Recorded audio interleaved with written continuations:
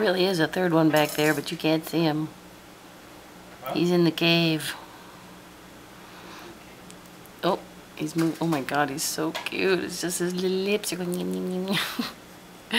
Can't see him though. Well, there you can kind of see his little nose. There's, there's a little eye. And here comes the sibling. What you doing? Wow.